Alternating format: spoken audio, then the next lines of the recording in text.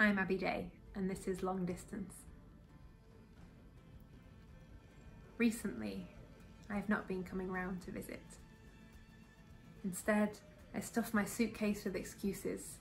It has been too long, and I am always misremembering us. The clumsy firsts of youth we spent together, when you watched me gut the house of my possessions, when I'd finished, and my life without you fitted into a car boot. I thought you seemed upset. Or maybe I imagined my profile in the Manchester Evening News, another millennial leaving town to pursue big dreams in the big smoke, an unfamiliar Piccadilly, a different O2. Manchester. I miss you more than I thought it was possible to miss an industrial skyline. When I read your name in train stations, I turn away to stop myself checking the platform number. So when I see you in the news, your face painted with suffering and resilience, I think, God, I miss this Wonderwall city of mine. Tony Walsh's voice declares, This is the place through the speakers in Euston Station, and London nods along in sympathy. It hits close to home to be so far away from you to feel a stranger in my anger at those who invade the places I associate with childhood and make them feel unsafe. When I talk, I feel my vowels expand. Slipping accents are inevitable, but I have London's tube lines tattooed across my speech. I'm better at directions here. And using northern phrases has begun to feel like stealing. I don't call much these days. You are a distant acquaintance who has suffered a loss, and it is no longer my place to comfort you. I tell myself it would be disingenuous to try. I called you last week. No one picked up.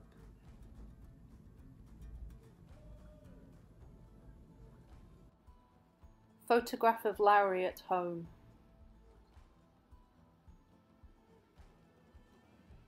At the edge of the open door, brass hooked trilbies crown the coats, emptied of the man. Further back, concealed by easels, he's figuring from his chair. Paintbrush raised as if in farewell. Retiring in a crumpled three piece suit. Gutted frames prepared like kindling wait for some fire. On the mantelpiece, the carriage clock ticks this time forever.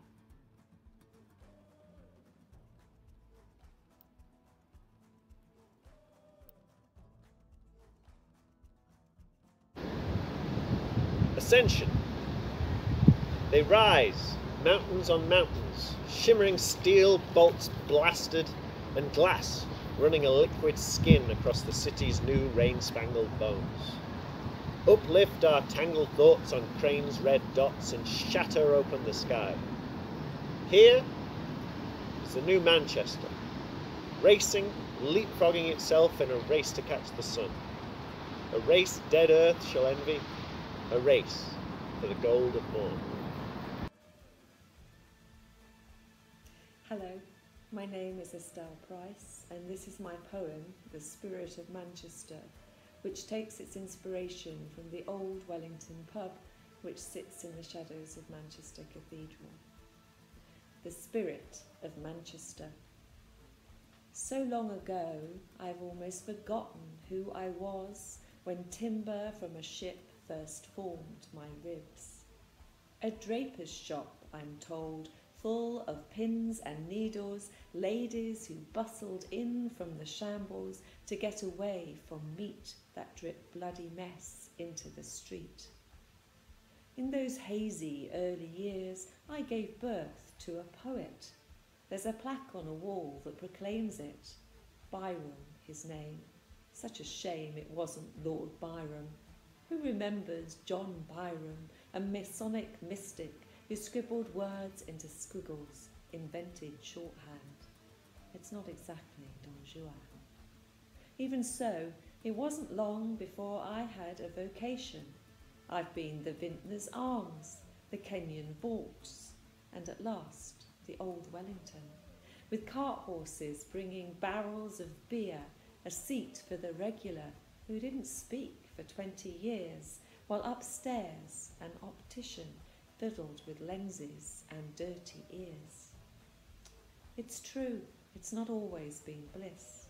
There was the Christmas blitz, when bombs fell like coins out of a drunk's pocket, buildings blazed, and I prayed the missiles would skip me. And then, in the 70s, men in bland suits filled the air in Market Square with concrete. I believed they were going to kill me. Instead, they raised my body on stilts, drove a road through my bowels, built blocks of shops till grey was the only colour in the vicinity. For twenty years my bars thronged, drinks slopped, laughter stirred into anger. Such skimpy clothes they wore, even in winter, until one morning, with windows full of sleep, an explosion wobbled my rafters, brought dust screaming into my lungs. After all I'd seen, I refused to choke on terror. The men in suits returned, waved a planner's wand. Brick by brick, slates labelled with blue paint, they cradled me from the blast to the cathedral shadows. And there you'll still find me, creaky and skew with, pouring the strong spirit of Manchester into your glass. Thank you.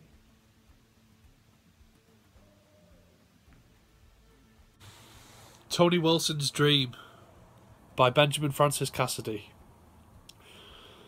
Opened May in 82.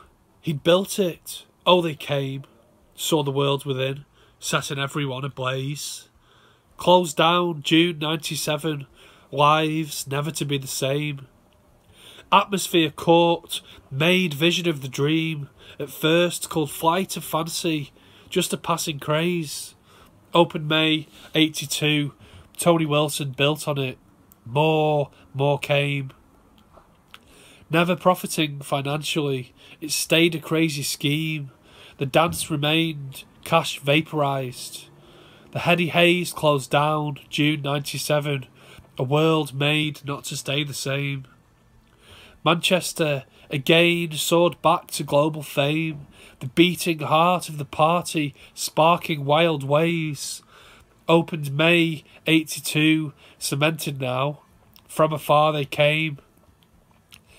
Baggy trousers, tie dye t shirts, the soon established theme. Ravers drinking, dancing, revelling nights into days. Closed down, June 97. No place could ever do the same. A funhouse made. This church to music changed the game.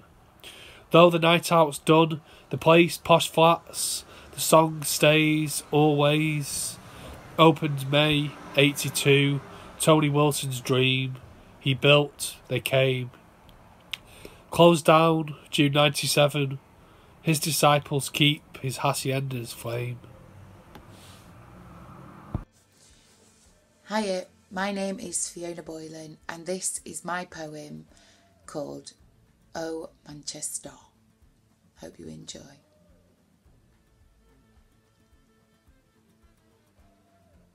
I was born in one of ten boroughs of Greater Manchester, in a fair old town called Bury.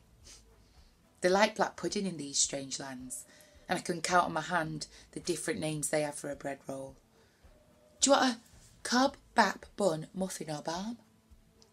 This is all just part of Manchester's charm. My mother despaired the day me and my sister started school, and these local kids defied every rule of the English dictionary. Whatever the ending of a name, the notes would always sound the same, and I became known as Fiona, who spoke proper dead good like, and went with hanging boys who gave me backies on their bikes on the streets of Salford. This city gave me balls to rival any man's. I never felt second rate or too afraid to take a stand. and show there's a fire burning inside, like the brave Emmeline Pankhurst, who was born in Moss Side, where I spent my teenage years. So join me whilst I show you the sights. We'll get lost in Affleck's Palace, where they've got everything from cyber gear to legal highs. They've got the world's biggest flavoured Johnny shop. And they play records that make you want to bop as you peruse the jewellery and grinders and more. But we can't stay long, so let's bounce and hop and walk the streets, admiring Akse P19's work. You'll be in awe. Next, do you fancy seeing a matinee at the Royal Exchange? Wait till you see the inside of this building. Look up. It's insane. and afterwards, we'll sit outside on Roman ruins in Castlefield and enjoy a tipple. And then, let's go see an exhibition at the Whitworth Gallery and go for a curry on the Mile. And then, go see a band in Heaton Park. And afterwards, when it gets dark, we'll go to the Northern Quarter for a bit of drunken disorder, dance to New Order. And afterwards, maybe I'll even treat you to chips with gravy. I'm proud of these northern shores. In a town over 70 years ago that opened the hospital doors of the first NHS. It's where I've raised one baby and gone on to have another. This is a decision I made as a mother to have my children be raised with their Mancunian sisters and brothers and tell me of their mint time playing out with their mates. And I'll meet them at the school gates and they'll ask me, Do we have any scran? And they swear down, ma'am, they've not been causing any either. And what future do I see for my babies in this post industrial town? I'm proud of its cultural heritages and opportunities for all. We unite in the face of hatred, strengthen our defences, stand tall. That'll surely be my taste of honey in this cottonopolis with my babies by my side. And with the northern man, they keep you on your toes, have a certain manx swagger and the humour's very tongue in cheek. We like to drink in the Northern Quarter, Chorlton or Prestwich at the end of the working week with a load of our mates. Yeah, this is Manchester and we do things differently around here. We talk like no one's listening and we love to chew one's ear. our fair city has stood the test of time. A medley of music, football, cobble streets, Oasis, Lowry, Morrissey, Turing, Rosemead and Royce, Dalton, Rutherford, and Sunshine. And it'll keep on growing and creating greats and surviving and thriving and staying alive. Yeah, she'll carry on through it all. She's a waterfall. Manchester.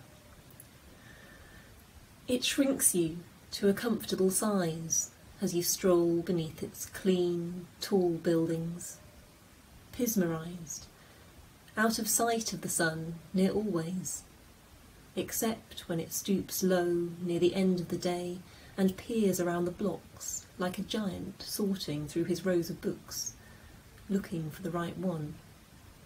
If he lights on you, it's lucky like he's got his torch out late at night to read and stumbles on you, finds you like the right place. You blush. But it's always at a kind angle, a glance across the table, not direct, as if he paused between one lift of his pint glass and the next. You can sit on the base of a statue and swing your legs. No one will notice.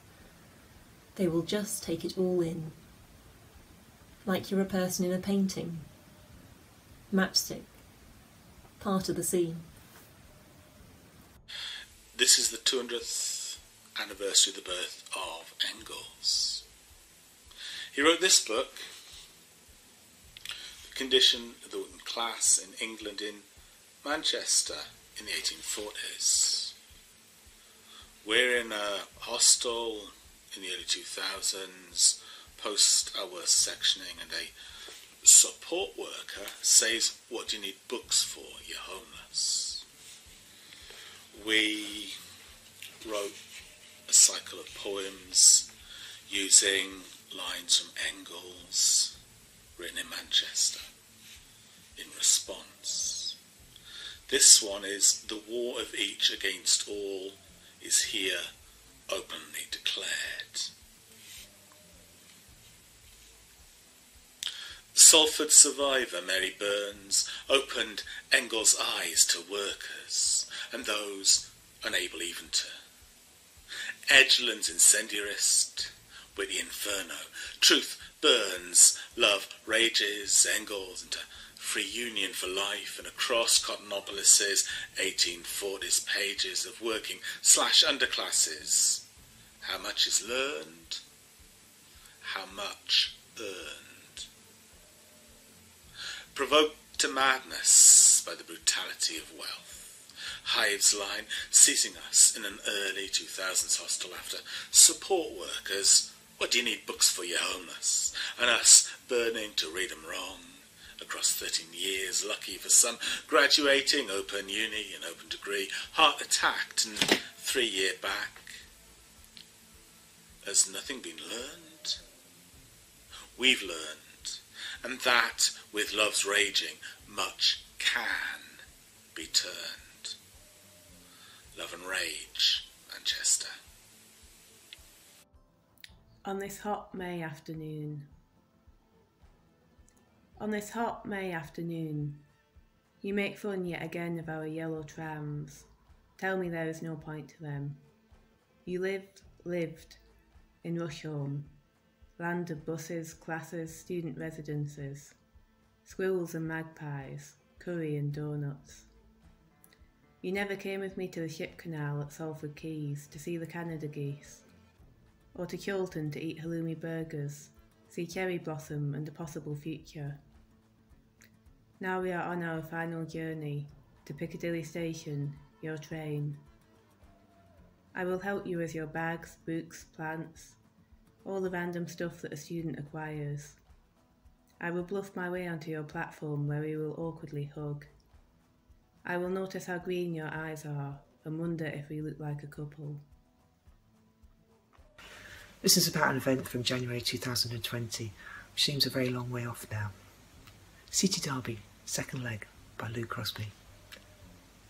It's a squash on the tram, checking the scarves, talking to rivals, a walk in the dark. It's joining the march all decked in sky blue, the glow from the roof that leaks to the sky. is burger bar steam, pint pot stacked high, orange clad stewards, selfies with mascots, crisscrossing fans all going the same way. is finding the gate or waiting in line, the arms out search, tall turnstile squeeze, endless corridor of open codes. Betting slips and bars, loud pundits on screens, hot dog and ketchup, meat pie and chips. It's a glimpse of blue seats, flashes of green.